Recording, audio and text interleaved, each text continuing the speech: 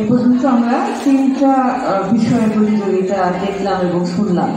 তো এই তিনটার মধ্যে আমার মতে এই নজরুল সঙ্গীতের প্রতিযোগিতা সবচেয়ে ভালো হয়েছে।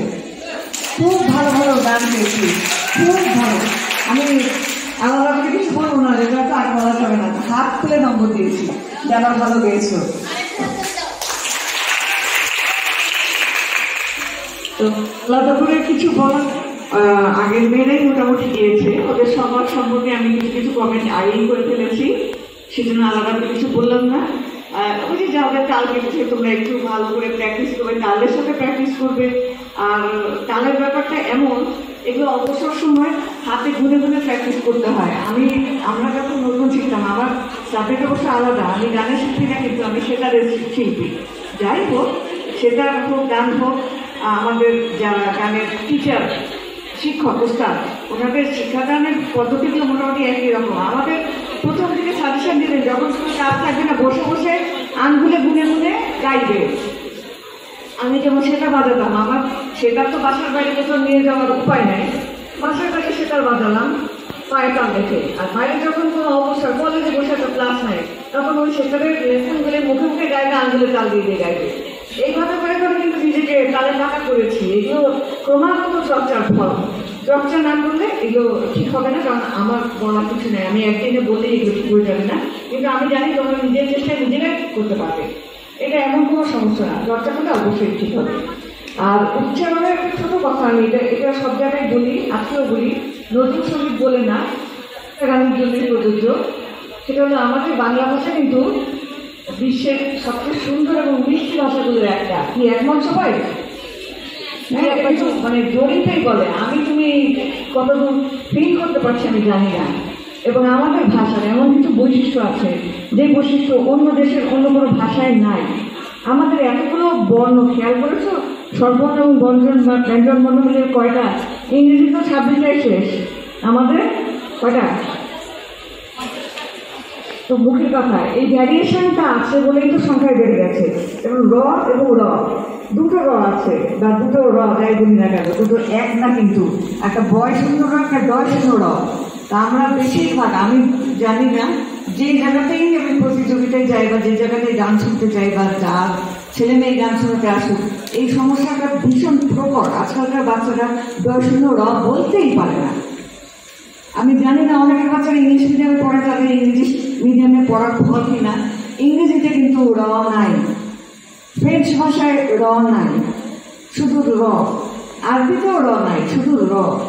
ওদের রয়ের উচ্চারণ আবার একটু ডিফারেন্ট এক এক জায়গায় এক। বাংলাতে আমি মনে করি সমৃদ্ধ, কারণ আমাদের র আছে র আছে। এ দুটো আলাদা করে উচ্চারণ করতে হবে। যেমন গানের মধ্যে ঝড়ের নাচন, আমাদের মেয়ে বলে গেছে ঝড়ের নাচন। ঝড়ের নাচন ঝড়ের নাচন, এক না, পাহাড় পাহাড় ঘুমায়ো বলেছে পাহাড় ঘুমায়ো পাহাড় এখানে বললে হবে না। এগুলোতে আমরা যখন গানের নম্বর দিই, চারটা ক্যাটাগরিতে নাম্বার দেওয়া হয় সুর, তাল, উচ্চারণ এবং উপস্থাপনা। চারটা কলমে চারটা ক্যাটাগরিতে নাম্বার দেওয়া হয়। এগুলো মিলিয়ে আমরা একটা টোটাল সাম করি। তো কাজে প্রত্যেকটা তোমার ভালো করতে হবে। সুরটা যেমন ঠিক হতে হবে, তালটা ঠিক হতে হবে উচ্চারণ ঠিক হতে হবে এবং সর্বশেষ যেটা উপস্থাপনা, ওই যে বললাম গায়কী প্রাণ দিয়ে গাইতে হবে, দরদ দিয়ে গাইতে হবে, ড্রামা আনতে হবে, এগুলো মিলিয়ে মিশে তুমি যেভাবে পারো, যে যেভাবে পারো, ওটা যাদের এখানে তো ব্যক্তিগত।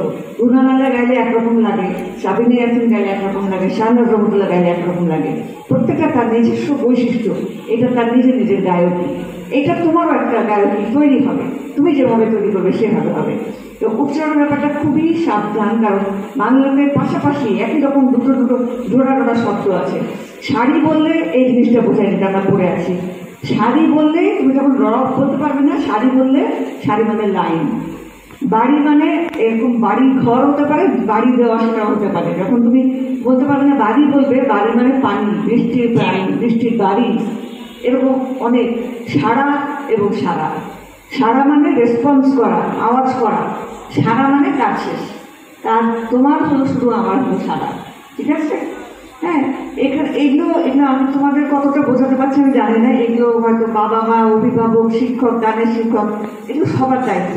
এগুলো অনুগ্রহ করে ঠিক করে বাংলাতেই এই বৈশিষ্ট্যগুলো আছে। দর্শনুর বয়সনুর পার্থক্য আছে।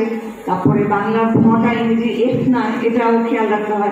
আমরা ফুলে ফলে বলি, এটা বললে হবে না। ফ বলতে হবে উষ্ঠবর্ণ প, ফ ব ভ ম। বাংলাতে এই পাঁচটা, প্রত্যেকটা বর্গের কিন্তু নাম আছে। আমরা সবাই বাংলা ব্যাকরণ ছোটবেলায় পড়ি বড় হয়ে ভুলে যাই। আমি খুব খারাপ বললাম কনফিডেন্সের সাথে। কারণ আমি এক জায়গায় চাকরি করছি ফরেন বিশেষ মানে উনত্রিশ বছর ধরে চাকরি করছি। আমার সহকর্মীদের দেখেই বলছি, তারা সবাই বাংলা ব্যাকরণ করেছিলেন। এখন বেশিরভাগই সব ছেড়ে দিয়েছে, একদম ভুলে গেছে। তো লাগে না, দরকার কি? দরকার আছে। এই যে আমরা বাংলা ব্যাকরণের পাঁচটা বর্গ আমি এখন পর্যন্ত মনে রাখি। অনুসর্গ, উপসর্গ, প্রত্যেকটা আমি মনে রাখি, কারণ কাজে লাগে। তো ওই যে ওষ্ঠ দিয়ে যেটা, ওটা ক খ গ ঘ ম এই পাঁচটা ওষ্ঠ বর্ণ বলে দুটো ঠোঁট জোড়া দিয়ে বলতে হবে বলার সময় দুটো ঠোঁট দুটো ঠোঁট ফ বাতাস বের হবে না। এবার ইংরেজিতে যখন আমরা ফ্যাশন বলব ফুল বলব ফাস্ট বলব, তখন নিচের ঠোঁট এবং উপরের দাঁত, এগুলো জানতে হবে, কোথা থেকে শব্দটা বেরাচ্ছে? ফ বলব, তখন বাতাসটা বের করে দিয়ে নিচের ঠোঁট, উপরের দাঁত, সেটা ইংরেজি উচ্চারণ, ফরাসি উচ্চারণ। কিন্তু বাংলাতে কোনো ফ নাই। এগুলো তোমরা যারা শিক্ষার্থী, খুব খেয়াল করবে। ফকে ফ বলবে ফ বলবে না রকে র রকের র এরকম আরও কিছু আছে, আমরা সময় নষ্ট করব না। সবার গান খুব ভালো লেগেছে। আরেকটা প্রতিযোগিতার জন্য অপেক্ষায় রইলাম। ধন্যবাদ।